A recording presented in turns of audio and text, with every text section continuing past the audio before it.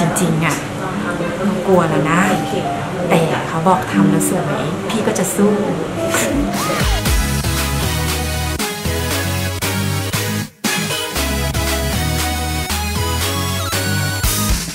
ได้มาจากน้องๆในพันทิปตั้งให้ค่ะ เปิดช่องไหนก็เจอคุณแม่ทุกช่องเลยเขาก็เลยเอามาเรียกกันแบบนี้ได้ยังไงเหรอ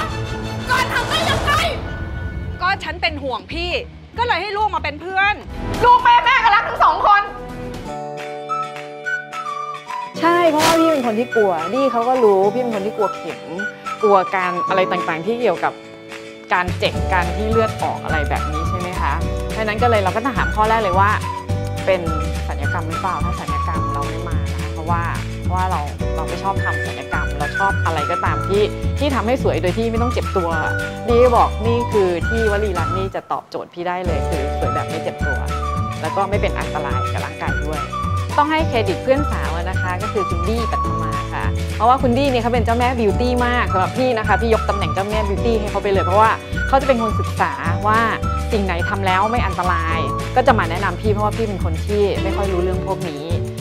ต้องขอขอบคุณวลีรัตน์คลินิกนะคะ ที่ดูแลพี่ด้วยโปรแกรม Ruby Number 5 พี่ก็คิดว่าอีกสัก 5 ปีค่ะ แล้วค่อยมาเจอกันนะคะ ดูสิคะเด้งขึ้นมาเห็น